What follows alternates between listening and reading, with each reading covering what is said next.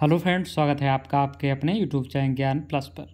उत्तर प्रदेश अधीन सेवा चयन आयोग से संबंधित एक खबर निकल के सामने आ रही है, जिसमें सहायक सांख्यिकी अधिकारी यानी कि एसओ के भर्ती से संबंधित एक बुरी खबर निकल के सामने आ रही है। जी हाँ पिछले चार पाँच महीनों से एसओ के रिज़ल्ट के लिए जो खबर आ रही है कि इस महीने रिज़ल्ट आएगा, इस महीने रिज़ल्ट आएगा, और इसी तरह करके अगस्त से रिज़ल्ट आते आते अक्टूबर बीत गया, लेकिन रिज़ल्ट की कोई अता पता नहीं है। जो प्रेजेंट में सूचना मिल रही कि इसमें एक मीटिंग होनी है, मीटिंग अभी तक नहीं हो पाई तो मीटिंग कब होगी, इसका कोई पता नहीं है। यानी कि ना तो जब तक ना मीटिंग होगी, ना आपका रिज़ल्ट आएगा। अब आपकी मीटिंग मीटिंग कब होगी, इसका कुछ अता पता नहीं है। जब मीटिंग नहीं होगी तो आपका रिज़ल्ट का भी कुछ पता नहीं है। हालाँकि किसी भी रिज़ल्ट में आयोग दो महीने पहले मूड बनाता है, तब जाकर रिज़ल्ट दे पाता है। तो आपके रिज़ल्ट से संबंधित तो अभी आप समझ लीजिए कि जब मीटिंग नहीं हुई तो मूड बनाने की तो बात ही दूर दूर तक नहीं है।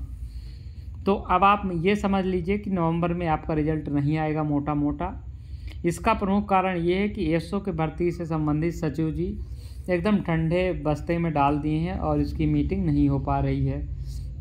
मीटिंग का आयोजन कब होगा इसका कोई अता पता नहीं है। तो अब आप ये समझ लीजिए कि अगर आप अपनी भर्ती में डट कर नहीं लगे तो आप समझ लीजिए कि आपका रिज़ल्ट इस महीने संभव नहीं होगा। यानी कि नवंबर महीने में कोई संभावना नहीं रहेगी। इसीलिए सहायक सांख्यिकी अधिकारी के अभ्यर्थी जो ने फैसला किया है कि सहायक सांख्यिकी अधिकारी भर्ती के लिए दो नवंबर से उत्तर प्रदेश अधीनस्थ सेवा चयन आयोग के खिलाफ धरना प्रदर्शन, पिकअप भवन में किया जाएगा। ये अनवरत धरना चलेगा। कई, जब तक मांग पूरी नहीं होगी, तब तक इस धरने को चलाने का प्रोग्राम रखा गया है। तो आप सभी अभ्यर्थियों से निवेदन है कि, इन अभ्यर्थियों की ओर से निवेदन है कि कम से कम अपनी बात को रखने, उत्तर प्रदेश अधीन सेवा चयन आयोग पहुँचे। सचिव जी से बातचीत करने, शांतिपूर्वक अपनी बात को रखने और इस तरह से उनको प्रभावित किया जाए कि नवंबर के अंत तक मीटिंग करा के आपका परिणाम जारी कर दिया जाए, जिससे कि आपकी ज्वाइनिंग जल्दी से जल्दी हो सके।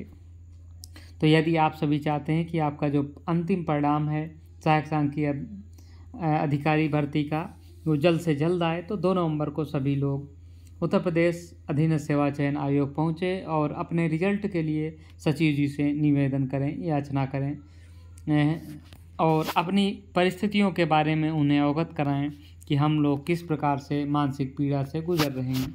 जल्द से जल्द परिणाम देकर आप हमें धन्य करें। तो ये आपके लिए रही जानकारी। दो नवंबर याद रहे, उत्तर प्रदेश अधीनस्थ सेवा चयन आयोग के ऑफ़िस पिकअप भवन में धरना प्रदर्शन में ज़रूर से ज़रूर शामिल हुए और अपनी बात को सचिव जी के सामने शांतिपूर्वक रखें। इसी आशा और विश्वास के साथ कि अगर आप लोग बड़ी संख्या में पहुँचते हैं तो नवंबर में आपका परिणाम जारी हो जाएगा। इसी आशा और विश्वास के साथ इस वीडियो में इतना ही। मिलेंगे अगली वीडियो में। जय हिंद, जय भारत।